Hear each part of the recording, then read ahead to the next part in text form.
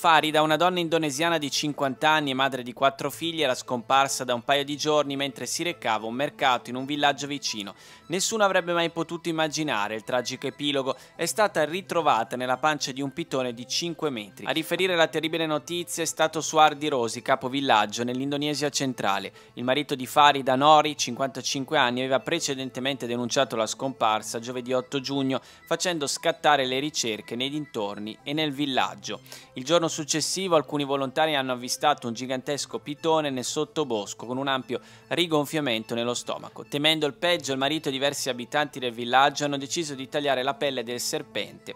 Farida è stata trovata nello stomaco del rettile ancora vestita. Il suo corpo è stato poi portato via per la sepoltura nel distretto di Pituriawa. Nori, devastato, ha espresso il suo dolore. Mi rammaricherò per sempre per aver lasciato uscire mia moglie da sola. Se fossi stato con lei quel giorno, tutto ciò non sarebbe accaduto.